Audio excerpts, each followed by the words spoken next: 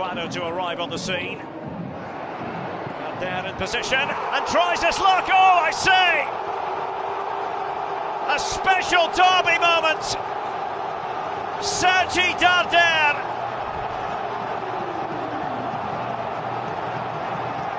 And the RCDE Stadium lights up.